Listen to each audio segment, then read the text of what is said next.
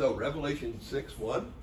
Then I saw when the Lamb broke one of the seven seals, and I heard one of the four living creatures saying, as with a voice of thunder, Come.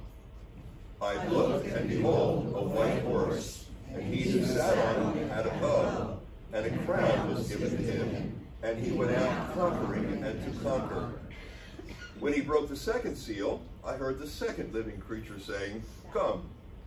And another, a red horse, went out, and to him who sat on it was given, granted to take peace from the earth, and that men would slay one another, and a great sword was given to him. And when he broke the third seal, I heard the third living creature saying, Come. I looked, and behold, a black horse, and he who sat on it had a pair of scales in his hand. And I heard something like a voice in the center of the four living creatures saying, A quart of wheat for a denarius, and three quarts of barley for a denarius, and do not change the oil in wine. When the Lamb broke the fourth seal, I heard the voice of the fourth living creature saying, Come.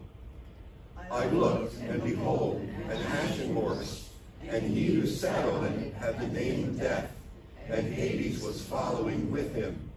Authority was given to them over a fourth of the earth to kill with sword and with famine and with pestilence and by the wild beasts of the earth. When the Lamb broke the fifth seal, I saw underneath the altar the souls of those who had been slain because of the word of God and because of the testimony which they had maintained. And they cried out with a loud voice, saying, How long, O Lord, holy and true, will you refrain from judging and avenging our blood on those who dwell on the earth? And there was given to each of them a white robe, and they were told that they should rest for a little while longer, until the number of their fellow servants and their brethren, who were to be killed even as they had been, would be completed also. I looked when he broke the sixth seal, and there was a great earthquake, and the sun became black as sackcloth made of hair, and the whole moon became like blood, and the stars of the sky fell to the earth, as a fig tree casts its unripe figs when shaken by a great wind. The sky was split apart like a scroll when it is rolled up, and every mountain and island were moved out of their places. Then the kings of the earth and the great men and the commanders and the rich and the strong and every slave and free man hid themselves in the caves and among the rocks of the mountains. And they said to the mountains and to the rocks, Fall on us and hide us from the presence of him who sits on the throne and from the wrath of the Lamb. For the great day of their wrath has come, and who is able to stand? So we um, saw in our study um, leading up to the book of Revelation that Daniel in, in um, his presentation in Daniel chapter 9 gave us the 70th week of Daniel divided into two parts. And then Jesus expanded that in Jesus' Olivet Discourse, his prophetic message in Matthew 24, 24, 4 to 14, and 16 to 28, and so on. And now the book of Revelation is unfolding this same block of time. And so what you have is this method of presenting the truth of something that's going to happen first in just kernel form and then in an abbreviated form here by Jesus and now it's laid out full-fledged in terms of what's going to take place during this 70th week of Daniel okay and so um, what Paul added is that the dead in Christ will rise first, and then we who are alive and remain will be caught up together. And so Paul brings to us the doctrine of the rapture. That's not in any of Jesus' teachings. Jesus, when he talks about the coming of the Lord, is talking about the second coming here. It's not until we get into the epistles of Paul and the start of the church and the doctrine of the church that we have the teaching with regard to the rapture. So that gets confused by people sometimes, especially reading the Gospels. And Jesus talks about the fact that the day of the Lord is coming like a thief in the night, and so forth. He's talking about this event. Then Paul develops the doctrine of the rapture later on. Now, this schematic becomes significant as we move into the book of Revelation, especially as we move into chapter 6 here. One other thing to look at as we move into chapter 6 is that Paul made the statement, in my judgment, he's talking about the rapture here, when he said that no one in any way deceive you, for it will not come. The it, in the context of verses 1 and 2, is the day of the Lord. And the day of the Lord is a period of seven years plus the thousand years of the kingdom. All right? So the day of the Lord, he says, will not come unless the apostasy, and we saw that apostasy is a departure, unless a departure comes first. So the departure has to happen before the day of the Lord can begin. And then the man, and also that the man of lawlessness is revealed. So those two things, Paul says in Second Thessalonians chapter 2, have to happen for the day of the Lord to start. So this is an event that we don't know when it's going to happen. This event with the re revealing of the man of sin is what we're about to see now as we move into Revelation chapter 6. And so that enables us to begin with the day of the Lord. Now, back to our chart that we've been working with. Remember that we have looked at this chart of the whole book of Revelation, and um, we reminded ourselves of the timing that is provided by Jesus in this revelation of all of these uh, three and a half year markers. What we're looking at today is back over here as we begin with the seal judgments in Revelation chapter 6, just so you're oriented in terms of where we are, okay? So, the seven seals are recorded for us in Revelation 6 and 7. These seals on the scroll that the Lamb, the risen Lamb, Jesus, has taken out of the hand of the Father. We saw in chapter 5 that the Father is sitting on the throne, and in his right hand is this book or scroll with the seven seals.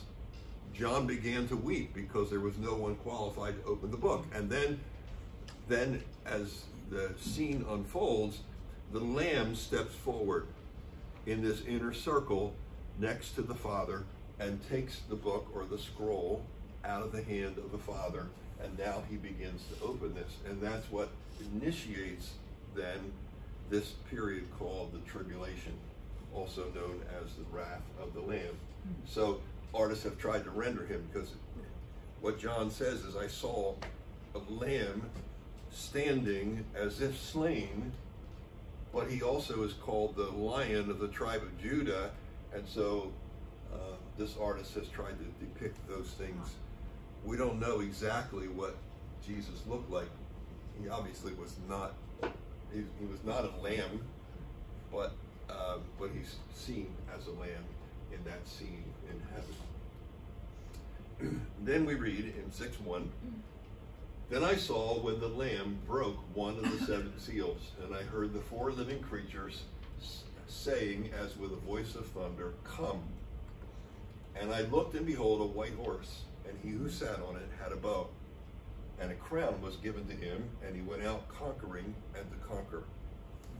Now, the rider on the white horse, there's another rider on the white horse, right, in the book of Revelation. Yeah. when we get to chapter 19. They're not the same. This rider on the white horse is given a bow at the very beginning of this um, time of judgment on the earth, and it says, the bow was given to him and he went out conquering and to conquer. So he, he conquers, he gains dominion over part of the earth, and he is seeking to conquer the entire earth. And so this is, in my judgment, the Antichrist. We're not told that it's the Antichrist here, but that fits with what Paul said when he said two things have to happen for the day of the Lord to begin. Those two things are the departure, uh, rendered apostasy in our translations, the departure of the church, and the revealing of the lawless one, the revealing of the man of sin. So the breaking of the first seal sends this rider on a white horse Now, why is he a rider on a white horse? Because he's seen that way. Because he's seen that way, correct, right? If you were going to uh, counterfeit money, what color would you print it? Green. Why would you print it in green? So it So it would look like the real thing, right? So when the Antichrist comes, he comes as a rider on a white horse because he is attempting to look like the Christ. He is attempting to look like Jesus. And he's going out to conquer and to deceive the entire earth. And so that's the first seal that's broken. Then um, we have a second seal that's broken. With the breaking of the second seal on the scroll, we have a rider on a red horse. And it's given him to take peace from the earth. So somehow this individual that John sees is symbolic. The main idea is the taking away of peace. And so there's going to be warfare on the earth during these days. So as the rider on the white horse is attempting to gain control of the earth, this rider on the red horse is saying that nations are going to be fighting against one another.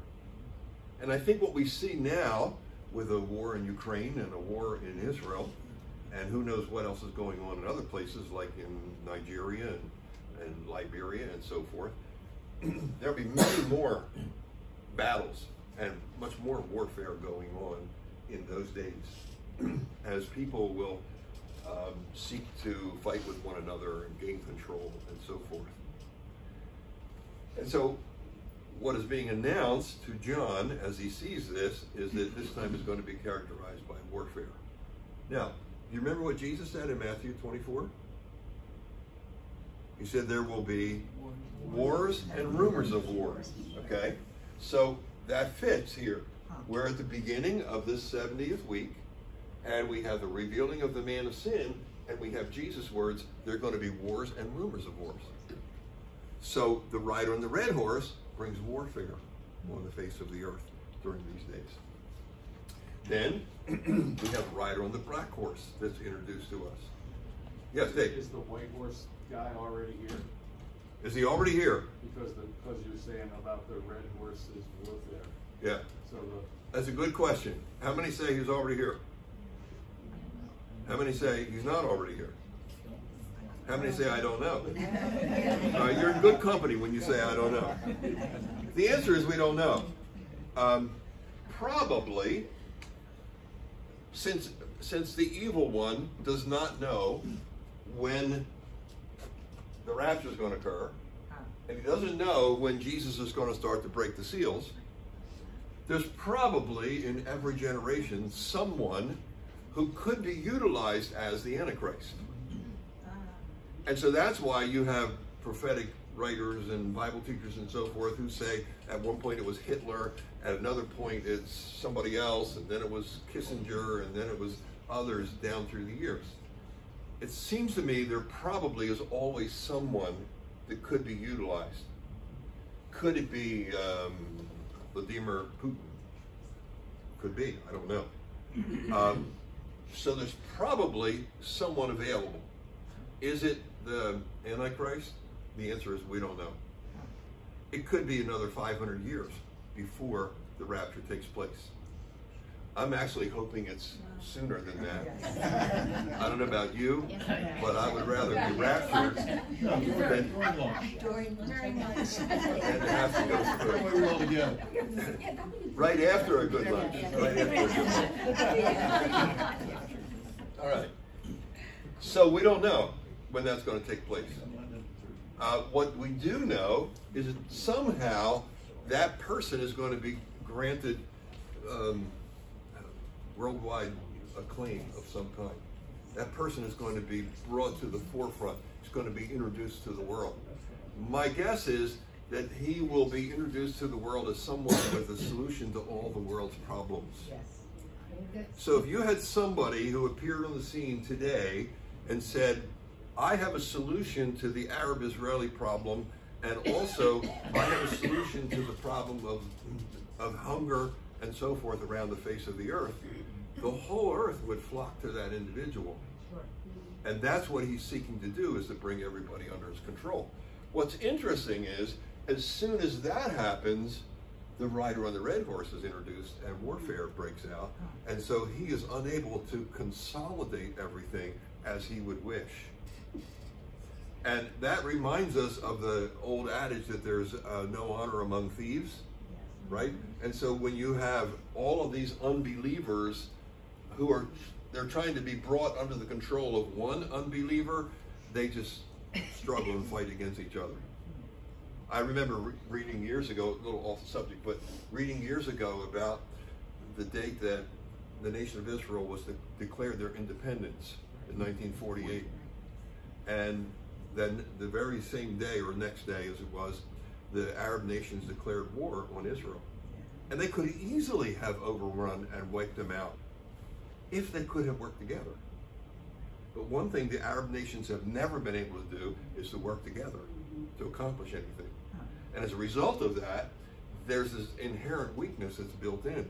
And we see it even now as the nation of Israel is trying to walk a picket fence in the midst of all of these issues. So uh, that's what's going to happen here. Then the rider on the black horse appears, and the rider on the black horse is going to destroy all of the grain of the earth. I don't know exactly how that's going to happen, but that suggests one of the answers that the rider on the white horse is going to bring is some sort of supernatural production of grain to feed the people on the earth. That's a major issue in so many parts of the world is having enough to eat. And so if the rider on the white horse brings a solution to that, some super crop, Soy. as has been, um, has, sorry? Cream of wheat, did you say? I said Soylent Green. People know that. Well, Oh, yeah. that's when they eat. Yeah, okay. So, so that suggests then that God's going to defeat that. So whatever the Antichrist tries to do, God is is uh, causing the people on the earth to to fight against that. So we have this famine that takes place. Now it says in the the decree comes from within the four living creatures, not the four living creatures, but from within them, inside of them. So that decree comes from the Father who's sitting on the throne. That a quart of wheat is is sold for a denarius. Now, how much is a quart of wheat? Think of a quart jar, you know, it's about yay big, right? A quart jar that's full of wheat would have four cups, right? Four cups to a quart. When you when you take that wheat and grind it, you get a little bit more in terms of flour because it expands, a little bit more in flour. In the in the ancient world, at least on one site I read, um, normally a quart of wheat was about what was necessary for one person for a day. Um, if you went the cheaper route and you went to barley, you could get three quarts. So if you're single during the tribulation, you would have a quart of wheat. If you're married and have a family, you would have to go with barley because now you have to, two or three or four mouths to feed. Now, how much is that quart of wheat? All right, it's a denarius, it's a day's wage. So that means that your day's wage, whatever that is, you break it down. You take your salary and you break it down and you have a day's wage. That day's wage would basically buy one loaf of bread. That's how expensive it's going to be at this time. And so that so that is decreed by God as what's going to happen on the earth. So God is bringing judgment on the earth, in spite of the fact that the Antichrist is seeking to take over and rule the earth. Right? Then we come to the rider on the white, uh, on the pale horse or ashen horse, as the case may be, and he's followed. His his name is Death, and he's followed by Hades, and he is given authority to kill one quarter of the earth's population. So I checked yesterday on the web uh, the, the Earth's population, and world population was estimated at 8 billion 102 million people. So this process is going to destroy how many people? Two and a half. Two billion. About 2 billion people, right? So about 2 billion people are going to die in the process of these seals being unleashed on the earth. So that suggests a little bit of time taking place. You have a little you have to have a little bit of time for warfare. You have to have a little bit of time for the famine to take over. So we don't know how long. It doesn't tell us how long it takes for the playing out of these seals. But my guess is, you're looking at six months or maybe a year, something like that, as these things uh, are unfolded by Jesus on the planet. So when you think about 2 billion people compared to the United States, we're like a drop in a bucket. This is the latest numbers here. Oh, that's they're supposed to be, this zero is supposed to be over here. Um, 326 million estimated in the U.S. Okay? So that brings us then, oh, uh, throw a couple of pictures up here. A couple of people have tried in various pieces of artwork to depict these four horsemen as they come um, and are unleashed on the earth. Um, different ways of trying to just give us a visual to grasp. Um, the main thing to understand is it's going to be a destructive time. But in the midst of the destruction, when the fifth seal is broken, what we read with the fifth seal is picture of all of these slain individuals who are under the altar in heaven. And these are the martyrs from the early part of the tribulation. Uh-huh. And so, what God is doing at the same time is apparently giving another opportunity to people who will respond mm-hmm. to the gospel, who will respond to the truth of His word. Because these are these are individuals who are under the altar. Uh, here's an artist rendering of who knows what it looks like. They're saying, How long, O Lord, holy and true, will you refrain from judging and avenging our blood on those who dwell on the earth? So these folks have been slain by people on the earth, by unbelievers, the Antichrist and warfare and so forth. And they're in heaven. They're under this altar in heaven. Remember last time we talked about how there's a temple in heaven. And um, under this altar in heaven, we have all of these individuals. And we read in the text, a second, Edie, and we read in the text, there was given to each of them a white robe, and they were told that they should rest for a little while longer until the number of their fellow servants and their brethren who were to be killed, even as they had been, would be completed also. So what that says to us is, is that God has a bigger agenda than just avenging the death of martyrs. A bigger agenda than always dealing immediately with our suffering and with our pain. That God has a bigger picture in mind. And so, what Revelation, one of the things Revelation does is to help us to see something of that bigger picture and to understand that God is about glorifying Himself. He will, He will judge them. That becomes clear as we move through the book. He will judge these people who need to be judged, but He's not quite ready to do it yet. Edie had a Good question. Are they part of the two billion then? The quarter? Uh, probably some of them are. Yeah. We lose a quarter of the Earth's population during this first series of judgments. Then we get the trumpets, there's another quarter, and so forth as we move through. So, um, so yeah, they would be probably some of them, and it's a it's a huge number of people who are there in heaven. Beth? How, how do we know that they aren't previous martyrs? Okay, because they have not been resurrected yet, A, and B, because of what's said in the next chapter. The next chapter tells us that these are the ones who have come out of the Great Tribulation. All right? That's a good question. And are they Jewish or mixed? Um, probably a mixture. We don't know at this point yet exactly what they will be. All we know is that it's a great number of folks who died because of the word of God, we're told, because of the word of God and because of the testimony which they maintained. So they stood up for the truth of God's word, and they were they were slaughtered because of that. So whether whether it's the Antichrist who does it, or whether it's in the warfare, uh, how it happens exactly, we're not told at this point. Okay. That brings us then to the sixth seal. The sixth seal is a is a conglomerate of uh, natural catastrophes or natural disasters that which happen. Um, where said there are earthquakes, there are famines, the um, the sun becomes dark.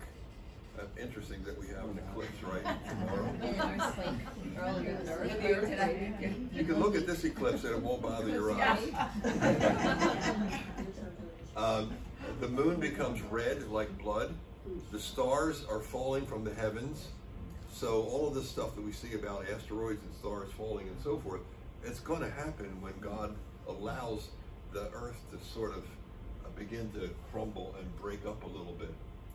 And we we then read that all of the kings of the earth and the military commanders, the, the uh, rich, the strong, uh, all of those who are significant people on the earth hide themselves in the mountains and in the rocks, and they and they say to the mountains and the rocks, "Fall on us and hide us from the presence of Him who sits on the throne, and from the wrath of the Lamb." For the great day of their wrath has come, and who is able to stand? Now, when we come in next time, when we get into chapter seven, we have to we have to deal with this a little bit in terms of there are some folks who say that this statement, the great day of their wrath has come, means that we're in the second half of the tribulation. I think it's just an announcement that the that the wrath of God has begun. Um, that what we're finding is is that God, Jesus is unleashing this wrath on the earth, and that the people on the earth soon recognize that the wrath of God is being poured out. One interesting thing, we have the wrath here that's mentioned in these verses, uh, is in 1 Thessalonians chapter 5, verse 9. It makes it very clear that we are not appointed to wrath, but to deliverance. And so that reinforces for me the fact that the rapture is going to take place before this begins. Right? So, chapter 6 takes us through six of the seals that are broken and initiates then, it probably covers the first six months to a year, maybe as much as a year and a half or so of this seven year period. When we come back to chapter 7, we have to see what else takes place, and then that introduces us to the trumpet judgments, and that takes the rest of the first half, as far as I can tell. We'll talk more about the timing of these things as we get into that. Any other questions this morning? So you asked, with the white horse coming, has he, is he here on the earth today? No, because, uh, we haven't been, uh, raptured, right? Well, the individual could be here, just not presented, Oh, not introduced. Okay, here and we're raptured tomorrow, Yeah, yeah. okay. We just don't, we don't know. Okay. Father, thank you for laying out for us what's going to happen. And thank you that um, we won't be here. That you're going to bring wrath and judgment on the earth in accordance with what has already been laid out in great detail. The whole plan is not some mishmash. It's, it's something that you have decreed. You have, you're holding on to it right now. You have that book in your right hand. And at the appropriate time, you're going to hand it to Jesus, and He's going to start your wrath and your judgment here on this earth. Help us, Lord, as we live in the less than ideal circumstances, as we deal with, with some really crazy stuff in our world, in our lives, both physically in the challenges that we face, but also politically and nationally and family wise as we deal with all sorts of things. Help us to live in the light of the fact that your perfect plan will be unfolded at the right time in the right way. It's all been determined, and we can rest in you. Help us, Lord, as we walk with you. In Jesus' name I pray. Amen. Amen. Thank you.